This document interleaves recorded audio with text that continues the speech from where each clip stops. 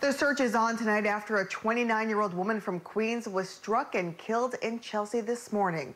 Our Ron Lee joins us now from outside of her home in Corona with the very latest. Ron. Janine, this story truly is heartbreaking. Two young boys and a three-year-old girl are now grieving the loss of their mother after her life was cut short by a driver who just kept on going. Following a hit and run early Sunday morning that claimed the life of his beloved sister, Victor Villacres tells us his devastated family wants nothing more than to see the driver who struck her brought to justice. Eh, we went out to work as any other day. They called us in the morning telling us there has been an accident.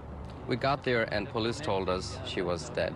Police say just after 5 o'clock Sunday morning, Maria Cristina Villacres was crossing 7th Avenue at West 24th Street in Chelsea when she was struck by an unknown vehicle that was heading southbound and did not stop.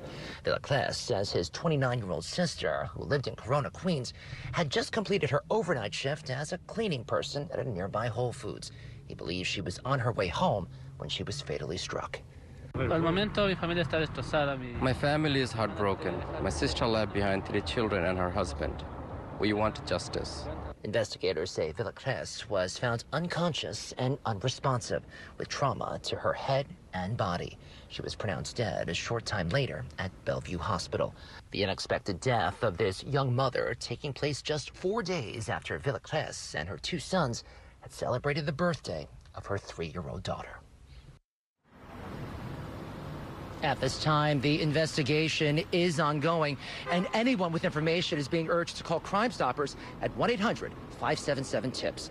In Queens, Ron Lee, New York 1. Janine. Very sad. Thanks, Ron.